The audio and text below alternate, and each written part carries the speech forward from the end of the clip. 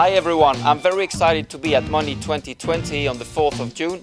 This is the first time this amazing event is coming to Amsterdam, making it again the capital city of the fintech world and the disruption where also in ING we've participated a lot too.